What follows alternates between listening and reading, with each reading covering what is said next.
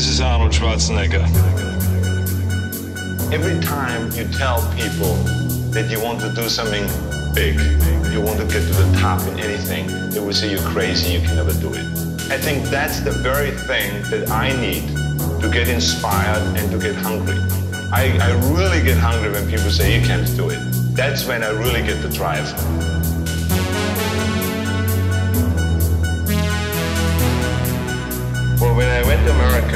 Got into acting, everybody wanted me to change my name because uh, people started saying Schwarzen Schnitzel and Schwarzenheimer Blemmenchen. Nobody could pronounce it.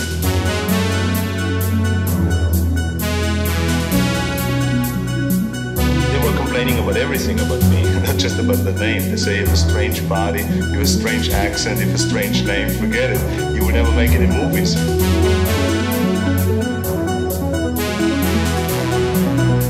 Kept all of those things. I still have a strange accent, a strange body, and the uniqueness of the name became the strong point now, and now people cannot forget the name.